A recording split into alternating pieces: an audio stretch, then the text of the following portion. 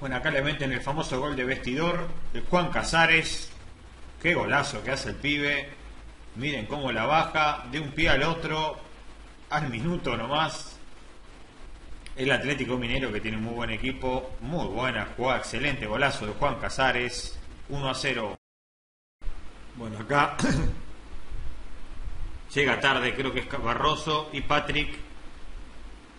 Ya tuvo muchas situaciones Mineiro, esta la mandó adentro, tuvo 5, 6, 7, podía haber tenido 4 o 5 goles ya adentro, bueno, pero acá el gol es válido porque pica adentro, acá se ve, es Barroso el que quiere rechazar, la gana por guapo Patrick, le pega y miren ahí 15, 20 centímetros adentro, dos bueno, acaba el gol de Huri, se cansaron de errarse goles del Atlético Mineiro, acá meten el tercero, ¿no? Una jugada con la defensa en línea, la agarra este chico Huri que entró recién y mete el tercero, podría haber hecho 6, 7, 8 goles más, bueno, solamente va 3 a 0 por ahora, ¿no?